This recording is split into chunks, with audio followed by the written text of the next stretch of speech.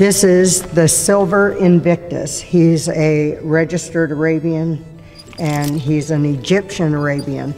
He is a grandson of Thee Desperado, which is one of the most famous Arabians in modern history.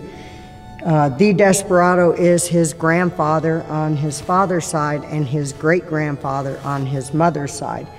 Uh, the bloodlines of Thee Desperado take up about, I'd say, probably 40% of his total um, DNA.